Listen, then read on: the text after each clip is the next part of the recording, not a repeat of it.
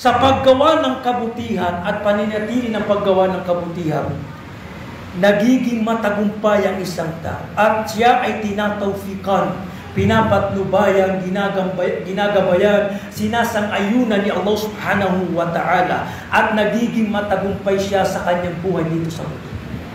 Ang tagumpay, ito, dapat din natin bigyan ng kahulugan, diwa.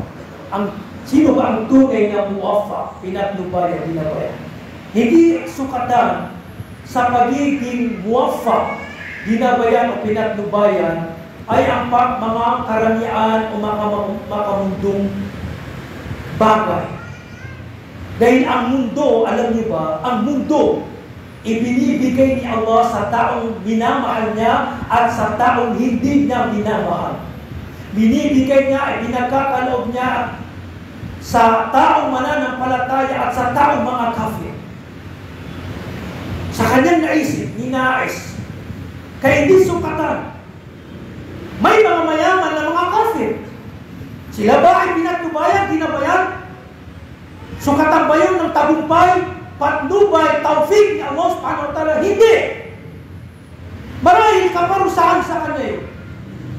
Ang tunay muwafak pinatnubayan ay kahit ikaw ay mahirap, kahit ikaw ay dugha, dugha, kahit ikaw ay mababa ang antas ng iyong buhay, subalit ikaw ay nalas, nasa landas ni Allah. Ikaw ay nasa kaluguran ni Allah. Ikaw ay mapaggawa ng kabutihan. Ikaw ay nagsasala. Ikaw ay mabuti sa ibang kapwa. Ikaw ay muwafa, pinagnubayan ni Allah subhanahu wa ta'ala. Basta meron kang satisfaction. Pagkakuntito sa anong meron ka, ikaw ay ginagawa, ikaw, ito ang tunay na supatan sa pagiging muwafa. Kaya merong tinatawag na istidraj.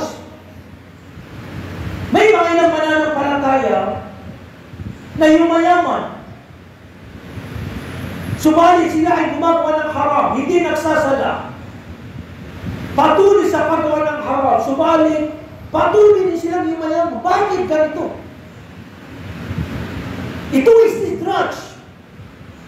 Sinabi ng mahal na propeta, katakutan nyo ang ganitong kalagayan. Kapag nakita ng isang alimi, kahit mananampalataya, na patuloy na binibiyayaan ng mga kabutihan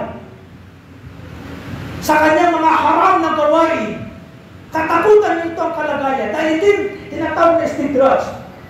Nabi, may kalagayan na darating sa kanyang kaparusahan ni Allah subhanahu wa ta'ala. Doon siya wawakasan ni Allah subhanahu wa ta'ala sa mga haram na gawain. At iyon ang magiging katapusan niya. Hindi sa kanya nakapagbigay ng kabutihan. Ang tunay na muwafaq ay ka, ano pa man nakakamit mo sa lapiman ay hindi mo nakakalimutan ang relihiyong Islam. Hindi mo nakakalimutan ang karapatan ng Allah subhanahu wa katulad ng pagbibigay ng zaka, katulad ng pagbibigay sa sadaka, katulad ng pagsasala. Hindi ka nawawala, nalilihi sa landas ng Allah subhanahu wa ta'ala. Yan ang tunay na muwafaq.